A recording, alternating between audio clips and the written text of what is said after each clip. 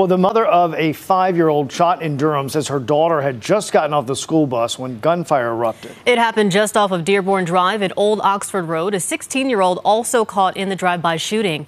CBS 17's Mariah Ellis is live at the Durham Police Department hearing from police, city leaders, and witnesses. Mariah.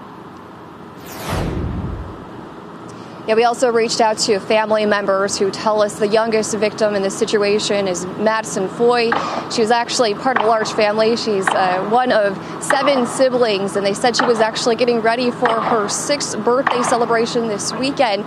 They're relieved that she is recovering, but say she is still very shaken by what happened.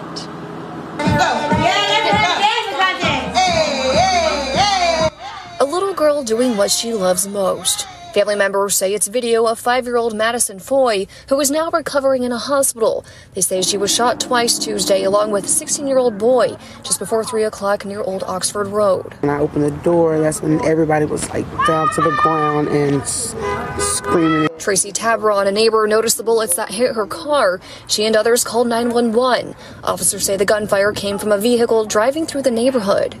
People in the area described hearing multiple gunshots. In fact, you could still see where those bullets hit on the side of this car here. Neighbors said all this happened when kids were getting off of a school bus. You know, what was so important that you, you know, it couldn't be talked out, you know, that y'all would rather do stuff in broad daylight, you know, knowing that kids was literally just getting off the bus. The shooting comes just months after someone shot an eight year old girl. Durham police releasing this video showing the suspect firing round after round into a home.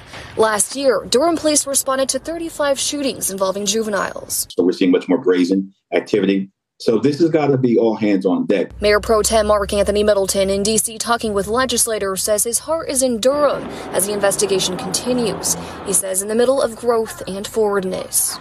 Less than two miles from our city center, we have young people that are being trained like soldiers to jump off of their bikes and duck and cover behind garbage cans.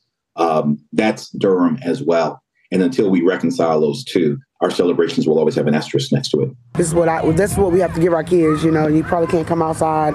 You can't do this, that, because even though it's pretty right now, anything can happen right now as we speaking. Mayor Pro Tem Mark Anthony Middleton, who also supported ShotSpotter, says that they continue to listen to families, hear their concerns, and says that they continue to also reach out to families and make sure that they keep Durham's most vulnerable populations a top priority, especially when it comes to safety. In Durham, Mariah Ellis, CBS 17 News. And Mariah, while all of this is going on and the family is dealing with it, and we hope for recovery for everyone, they're still looking for a suspect or suspects, the people responsible for this. What are police telling you about that part of the investigation? Yeah, Russ, uh, Durham police do not have anyone in custody at this point and did not have any additional details of that vehicle that they might be searching for. They also wanted to make sure that people are aware of Crime Stoppers and reminded that people who actually have information that leads to an arrest can possibly receive a $2,000 reward. Hopefully, someone will come forward indeed. Mariah Ellis, thanks for that update.